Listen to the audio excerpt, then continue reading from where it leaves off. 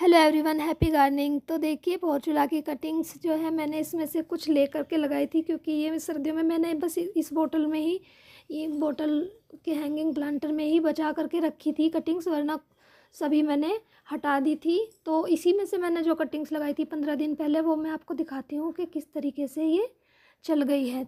देखिए, अच्छे से ग्रो कर रही है।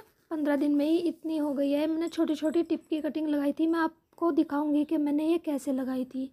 और गर्मियों का कितना बेस्ट प्लांट है, कितनी ही धूप, लुए चलती रहती हैं तो इसका फूल तो बिल्कुल भी सूखता नहीं है। और ज़्यादा जितनी तेज़ धूप होती है, उतने ही इसके फ्लावर्स बड़े बड़े साइज़ में खिलते हैं। तो इसको गुलदफेरी बोलते हैं हमारे यहाँ तो गुलदफेरी क्योंकि गुल जो है इसके दोपहर में खिलते हैं। तो कुछ पोर्चुला का बोलते हैं नाइन ओ क्लॉक भी बोलते हैं। और कई नामों से जाने जाते हैं। दिन का राजा भी बोलते हैं, बिच्छू घास बोलते हैं। तो काफ़ी सारे नाम हैं इसके। और समर का जो है बेस्ट प्लांट है दोपहर में। इसको पूरा दिन की धूप जो है, आप देंगे ना जितनी, उतने ही इसके फ्लावर्स ज़्यादा आएँगे। तो इसमें से भी कटिंग ले करके हम और लगा सकते हैं ताकि ये और भी घना हो जाए। तो कैसे भी आप इसमें प्लांटर में लगा दीजिए टूटे फूटे या पोली बैग में या डी प्लांटर में हैंगिंग प्लांटर में। किसी में भी लगा दीजिए, थोड़ी मिट्टी में भी आसानी से चल जाते हैं। पॉट तो दिखता ही नहीं। खूबसूरत पॉट लेने की तो ज़रूरत ही नहीं है, क्योंकि पॉट दिखता ही नहीं। कुछ दिन बाद इतना भर जाता है फूलों से भी और प्लांट से भी, पूरी बेल इसकी फैल जाती है। तो वैसे भी सुंदर लगता है और जो फूल खिलते हैं दोपहर में, बहुत ज़्यादा सुंदर लगते हैं। नौ बजे से सुबह के और तीन चार बजे तक खिले रहते हैं, जब पूरी धूप होती है। इतना धूप रहेगी, इतना तक ये खिले रहते हैं और बहुत ही सुंदर लगते हैं। मेरे तो ये तीन कलर्स में है। वाइट है रेड है मतलब पिंक है और एक डबल शेड में है। तो तीन कलर में है। तो जब तीनों मिक्स होकर खिलेंगे तो बहुत ही सुंदर लगेंगे। तो देखिए इस तरीके से जैसे ये थोड़ी बड़ी हो रही है, इसमें से भी आप टिप की कटिंग लेकर के ईज़िली लगा सकते हैं। तो जैसे मैंने ये लगाई थी, मैं आपको दिखाऊँगी कि कैसे लगाई थी। चलिए लगाते हैं कटिंग वाइट, पिंक और डबल शेड।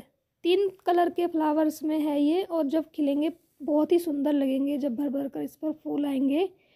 तो देखिए कितने सुंदर जो है ये प्लांट लगते हैं, बहुत ही अच्छे। इसको बिच्छू घास भी बोलते हैं, फोर भी बोलते हैं गुलदफेरी भी बोलते हैं, इसके कई नाम हैं।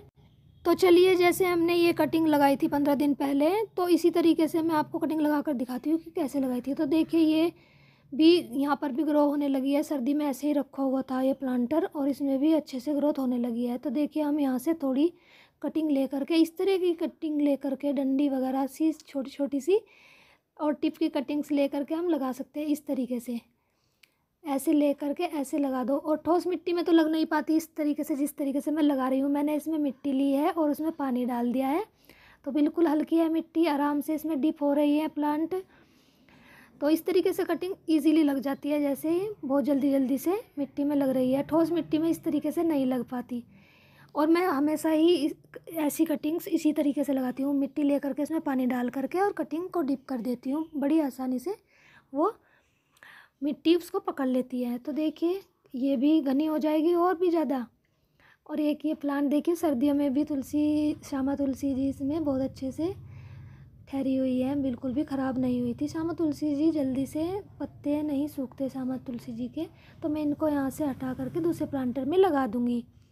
तो देखिए हमने किस तरीके से कटिंग लगाई, इसी तरीके से लगाती हूँ मैं। ये पूरा पॉट भर जाएगा, टूटा हुआ कुछ नहीं दिखेगा। तो थैंक्स फॉर वॉचिंग मिलते हैं नेक्स्ट वीडियो में।